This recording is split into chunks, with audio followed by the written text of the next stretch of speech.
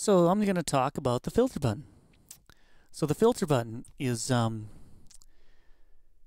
it it actually depending on the filter that you're using, it's a different part of the the signal path.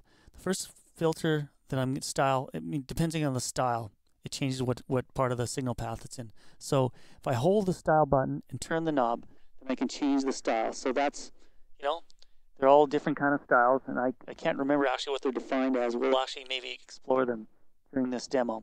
So this first style is uh, it's uh, basically it's a low it's a low pass filter like here, and it's also a high pass filter. So if I go uh, and this filter gets applied to everything. So if I put a if I put a drum drum pattern in here,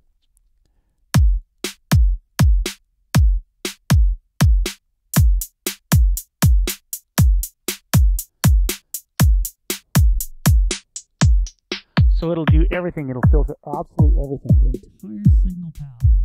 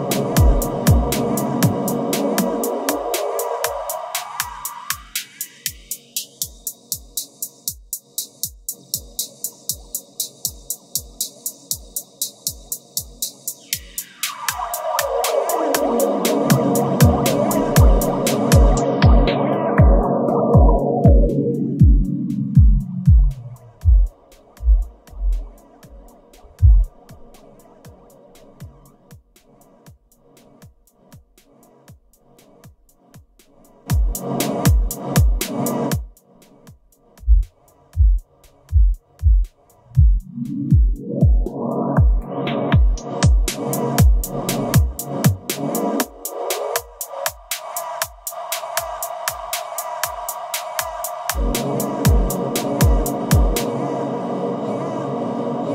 that's the uh, that's the first